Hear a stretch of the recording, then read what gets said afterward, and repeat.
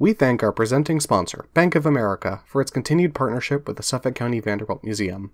Bank of America is a major supporter of more than 2,000 cultural organizations across the country and is committed to supporting local partners like the Vanderbilt to ensure that neighborhoods remain strong and vibrant. Bank of America's support allows us to bring these intriguing pieces of Vanderbilt family history to you and your family in the comfort of your home through Moments in History.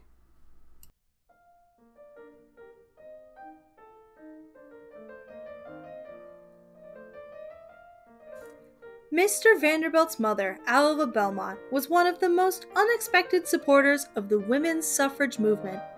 Born to a wealthy Southern family and married into the New York elite, Alva's life was the typical example of a 19th century socialite.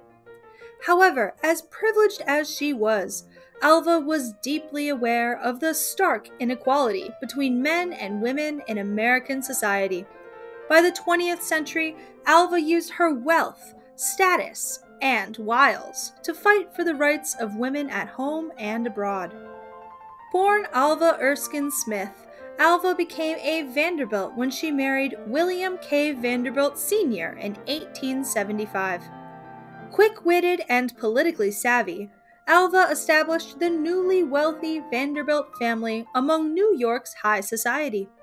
By 1895, Alva's marriage had fallen apart, and, to the shock of the New York elite, Alva divorced Vanderbilt and later married Oliver Belmont. Upon her second husband's sudden and tragic death in 1908, Alva threw herself into several charitable projects. After attending a meeting of suffragists in New York, a spark was lit, and a year later, she attended the International Suffrage Alliance Convention in London. Inspired by the words and actions of the women at the convention, Alva officially joined the National American Women's Suffrage Association, or NAWSA. She used her resources to move the organization's headquarters to a new office in New York City and funded a new National Press Bureau, along with several other women's suffrage groups throughout America and the United Kingdom.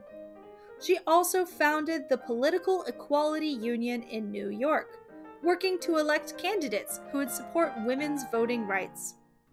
In 1909, Alva opened her Newport estate, Marble House, to a series of lectures on women's suffrage.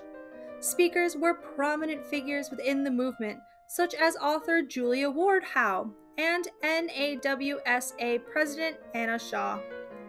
Ticket holders for the lectures also received tours of the opulent estate, and these events attracted more than 1,100 attendees. Alva again opened Marble House in 1914 for the Conference of Great Women, where both she and her daughter, Consuelo, were among the speakers. By 1916, Alva's work with the women's suffrage movement reached new heights. Along with fellow activist Alice Paul, Alva established the National Woman's Party, or NWP, which sought to give women the right to vote nationwide. Alva's support of the women's suffrage movement played a significant role in the work of the NWP. Not only did she provide financial resources to fund ambitious campaigns and projects, but her high social status provided the movement with publicity and respectability in their efforts. In 1920, the NWP's efforts paid off, and the 19th Amendment was ratified, giving women nationwide the right to vote. With its mission fulfilled, Alva and her fellow activists shifted the group's focus towards protecting and expanding women's social, political, and economic equality.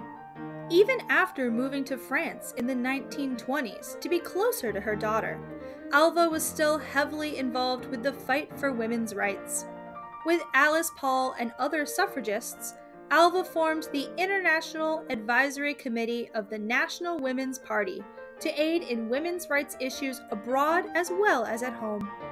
Alva's activism continued until her death in 1933 due to heart and bronchial complications after suffering a stroke. After 23 years of passionately dedicating time, money, and resources to the movement, Alva was treated as a fallen hero upon her death. At her funeral, Alva was tended by 20 women pallbearers, and upon being laid to rest, her casket was draped with an NWP banner as well as a protest banner featuring a quote by Susan B. Anthony Failure is impossible.